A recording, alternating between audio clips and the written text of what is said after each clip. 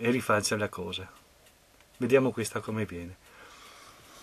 Osservo che ci sono dei, dei concittadini al servizio della collettività che al di là delle, delle, dei compensi che ricevono, che si danno, perché non si può dire che ricevono, non è che, non è che loro sono là e dicono, bah, hanno deciso, certe decisioni forse anche vengono forzate.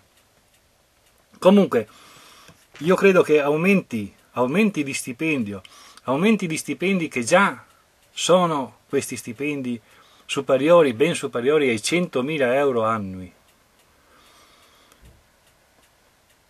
Darsi degli aumenti di 20-30.000 euro che corrispondono per una gran fetta di nostri concittadini corrispondono a 20-30 mensilità con le quali queste persone devono vivere e far vivere le loro famiglie.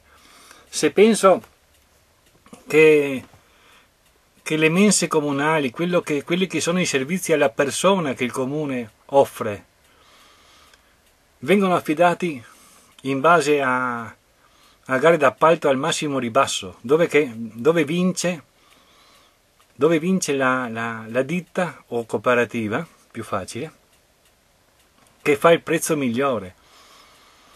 Tante volte io ho posto l'esempio di come si può ottenere un prezzo il più basso possibile, per esempio sulle mense scolastiche, sulle, sulle, sul, sul cibo dato ai cittadini, come si può fare un prezzo basso se non tirando al massimo sull'acquisto alimentare e su quanto viene corrisposto ai nostri concittadini che operano e svolgono questo servizio.